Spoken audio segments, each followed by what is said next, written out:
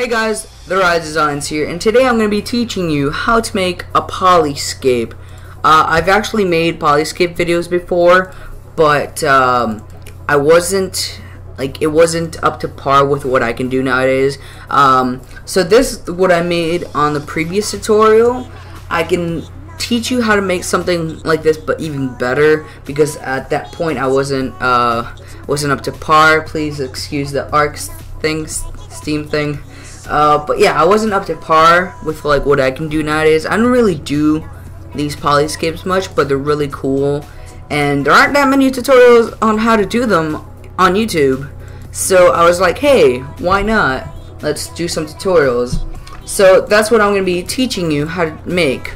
So first off, obviously you have Photoshop open and drag in a picture of choice. So I'm just scrolling through uh, some pictures I've downloaded. I'm trying to find a good one. I'm actually I have a second monitor, so that's why you can't really see anything. Uh, so I'm just scrolling through on my second monitor. Hmm. Uh, maybe maybe this picture. I, I'm just gonna drag it in, or you can also file new and make a new like file uh, if, if you so choose to do. So there's a picture that I got from uh, Unsplash.com. Um, they have some really nice uh, royalty-free images that you can use in anything, and they're really high res too. If we go see uh, Control Alt C, um, I'm on Windows by the way. Uh, if we go to pixels, it's 3872 by 2178. It's not that big. I've seen like other bigger images, but yeah, it's decently good. Uh, I believe you can upscale this to 4K if you choose to do so. And then here you go, you have a 4K monitor.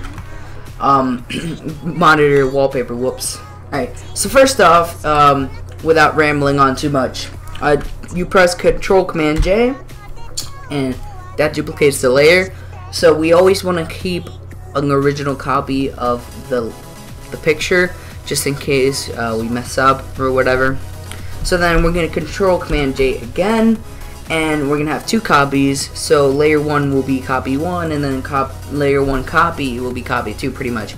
I don't really feel like renaming, renaming them so if you really want to you can but I'm not going to do it. So uh, now so let's do like a little like diamond effect. So um let's go to our shape tool, pick the rectangle tool and uh, hold shift while you're making this so it uh, it resizes it proportionally instead of like stretching it out. You know what I mean? Uh, so about there is good uh, we'll resize it. And then control command T and then uh, click outside the bounding box and then hold shift to rotate in 15 degrees. So I'm gonna rotate it 45 degrees. So it looks like that and then press enter and should give you this uh, turn to a live shape. Just click yes. So now, if you don't have your rulers also open, you can press con uh, Control Command R. That opens the rulers, or you can go to Window and uh, where is it? Uh, I don't see. Oh, View, I believe. Rulers, yeah. And then um, what you want to do is um, drag a ruler to the middle. I like to do that so I know where the exact center is. It should snap to the uh, exact center to, of the image. So you should have that. You should be okay with that. So then um, we're gonna we're gonna like resize it a little bit so it's at the dead center, and then we're gonna move this down to the uh, under the copy too, and then we're gonna right click and create clipping mask. As you can see, not uh, there isn't much going on. So uh, let's com uh, control command T and rotate the image uh, something like, I don't know, something like this looks pretty cool. It looks like distorted, but not that distorted. I think that looks really cool. Uh, you can have that, and then that's pretty like the pretty much uh, the key of this is making clipping mask and just just changing like this around pretty much, rotating them different ways. So, like, right now, this is looking pretty good so far, but we want to take it a step further.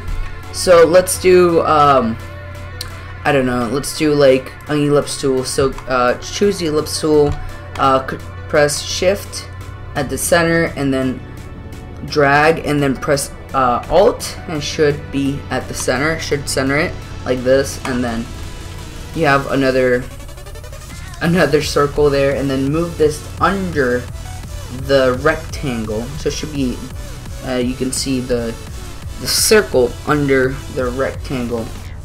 And then what you want to do is uh, hold alt and drag the second layer under the the square or the rectangle.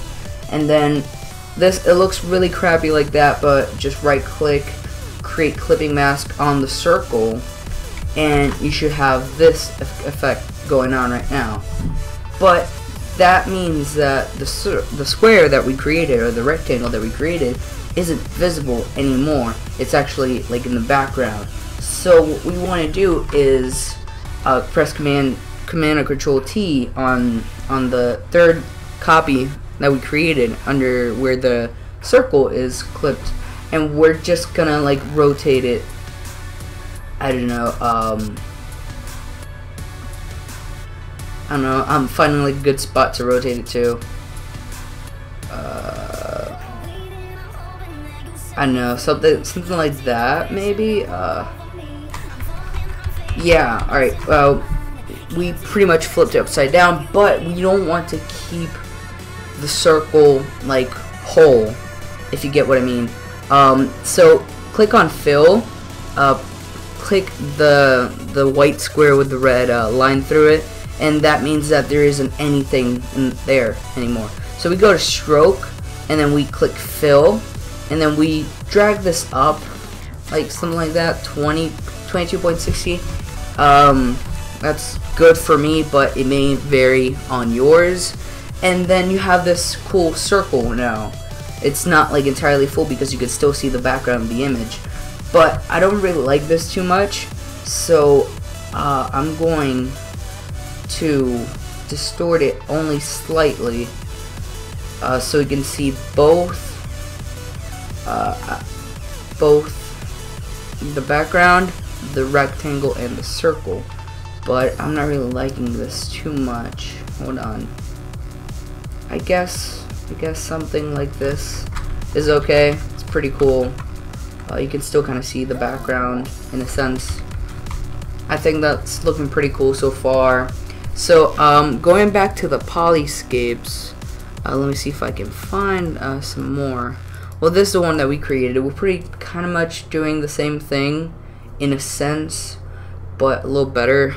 Um, because I actually in the previous tutorial didn't teach you how to do like the ring effect. I only just put you know shapes on top of shapes and then just create clip mask and just upside down stuff like that but um, now um, what we want to do add to like this the rectangle that we created. Uh, we could you could go to stroke and then make it white or a color that you prefer. But for this uh, let me see if I can change this. No no cannot change it. Alright so we're gonna uh, do something different. So what? Um, click the rectangle and hold Alt and drag above the second layer, and then we're to Control Command T, and then we're going to drag this up slightly, and then uh, make it white, and then we're going to drag this underneath the rectangle. And so far it looks like there's a stroke around it. It looks pretty cool. But if you really want to take a step further, um, you can either keep it like this, kind of minimal, and um, and then like keep it like that. But uh, I think an effect that looks really cool is like if you put an overlay. I think that looks really cool, makes it stand out a little bit more. And again, you can do the same effect with uh, with circle as well. So if I make this white, actually, uh, I'm gonna put fill white, and then uh, that. Actually, no. Go back, fill zero, and then white stroke. And then I'm to put it on overlay. I think that makes it stand out more. Makes it look pretty cool so far. And uh, I don't know. Uh, next up, like what we can do is adjust the color correction to make it look, you know, pop out better and make the colors blend in more. That kind of stuff. So uh, you can go to curves and then this is what I always do I'm just gonna be teaching like what I always do um, I'm not gonna tell you like what you should do if you, it depends on the image that you're using as your wallpaper. So uh, what I always do is I bring up the blacks um, or the black colors up a bit so it gives it like that little foggy effect. And then that's like the, the super hipster vintage matte effect that a lot of people like call it. So and then we're gonna bring uh, the white colors a little bit down. But it's not looking I mean if you really like it then you can keep it like this too. But gonna, I'm gonna take a little bit further and then kind of do the same but bring this uh, the black color in and a little bit up. And then I take the white color back a little, I think. Uh, okay yeah. Back and down a bit. And then in the middle we're going to we're going to put this down and then up top we're going to put this up a little bit. As you can see the colors look a lot like a lot better and more real in a sense. Uh, see if I take if I delete this it looks a little bit too dark. I give I think this gives it like a little cool like effect to it. Um, so if we group these two layers and turn it off you can see a drastic change in the image quality. I think this looks would look a lot better than this. But again if you want to keep it minimal you can always go with the changing from overlay to normal and then put it in like this. And again it depends on you and what you like and on your image as well. So um, there are other effects you can do as well like um, so this is just one effect that we can do. I'm going to group this. That's okay. I'm gonna name this one and then I'm gonna save it. Um, I'm gonna go creations for IPSC and then I'm gonna put this I'm gonna name the tutorial poly polyscape tutorial 2015 that's what I'm gonna name it as. Um, another cool effect that you can do with this I'm gonna make another copy of this same layer and what I'm gonna do is I'm gonna delete the circle one uh, like that. And i have seen a lot of other cool effects like uh, what they do. So I'm gonna bring up my guides again by pressing control command H. And I'm going to move this circle to the top left quadrant of the image. Um and then oh shit oh whoops.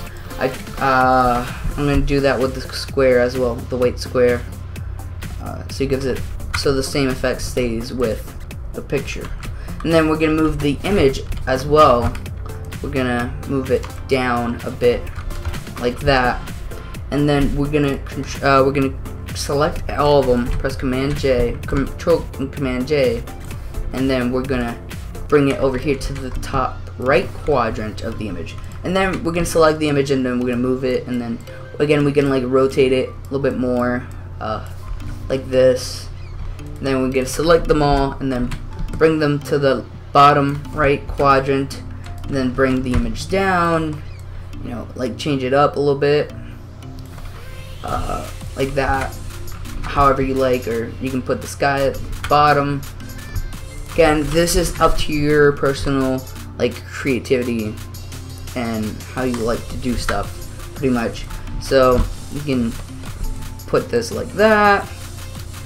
Uh, I think that looks pretty cool and then I'm gonna have my guides. And you have like a cool background. If you want like finish it off in a way and like put this in the middle and then have like uh, hold on let me fix it up a little bit. Uh, something like that um, I'm kind of making this like really fast uh, because I, you know this tutorial I'm not gonna like it's not to be like 100% what I do. I obviously would take a lot more time into my designs and everything, but this is just showing you like what to do. And I think this looks pretty cool. Like as a wallpaper, if you want, I'll have this in the description as a wallpaper uh, size, as its current size. So it'll be um, 3872 by 2178 but you can obviously change it to whatever resolution you um, have it at. So 4k uh, 1080p 1440p whatever. You can just have it how you like. And that's pretty much it. Uh, this is my first tutorial in a very very very long time. I think a year? About? Yeah something like that. Well yeah I was a little fidgety with tutorials, but uh, hopefully I, I'm gonna do more. I'm gonna get better at them, stuff like that. So, um, bigger and better plans are coming in the future, very very soon. So keep that and uh, like, comment, and subscribe. And uh, stay tuned with all my videos and such. I have a lot of things coming up, especially since uh, going to LA soon for Anime Expo, and I'm gonna put out some videos for that too. So, um, see you guys in the next tutorial, and hopefully uh, the video was helpful for you. Thank you. Bye.